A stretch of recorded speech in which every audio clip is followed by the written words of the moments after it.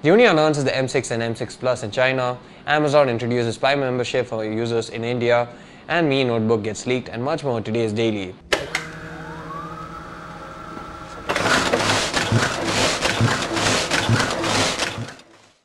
This is day 208 of 2016 and you're watching FoneArena Daily, your everyday fix of technology news.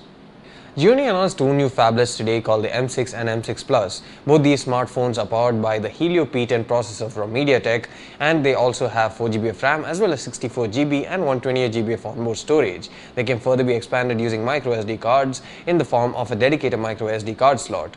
But what's different about these devices is mainly the screen size. The M6 comes with a 5.5 inch 1080p display while the M6 Plus comes with a 6 inch 1080p display. Apart from that, there's also a difference in the primary camera. While while the M6 has a 13 megapixel camera, the M6 Plus basically has a 16 megapixel camera, while both of them have an 8 megapixel camera up front.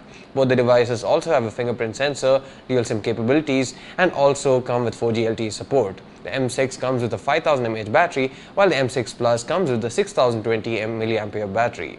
The device M6 Plus also lacks a 3.5mm audio jack, while the M6 has one. Both the devices are currently up for pre-order and will go on sale in China starting from 13th August. You can take a look at the different specifications and the different variants in the link in the description below. Amazon is now offering a free 60-day trial for Prime membership and users can then opt for it at a special discounted rate of rupees 499 which is available for a limited period. After this limited period, the Prime membership will cost you rupees 999 but Amazon mentioned that this will also include the Amazon Video Prime service that will give you access to different series as well as Amazon exclusives. And Amazon will be going head to head with Flipkart's own Flipkart First service that is available at a price of Rs 500 for a year membership. Sony has just launched the Xperia XA Ultra smartphone in India that has a 16 megapixel camera up front with optical image stabilization as well as a 21.5 megapixel camera at the back that has a 1 by 2.4 inch sensor. It has a 6 inch 1080p display along with a Helio P10 MediaTek processor as well as 3GB of RAM and 16GB of internal storage that can further be expanded by 200GB using microSD cards. It has dual SIM capabilities and it also comes with a 2700 mAh battery under the hood.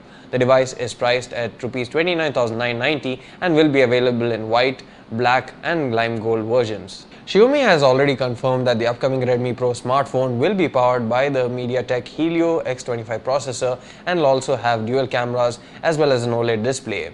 Now, a new teaser image posted by Lei Jun, who is the CEO of Xiaomi, showcases the smartphone in his hands with the dual camera setup as well.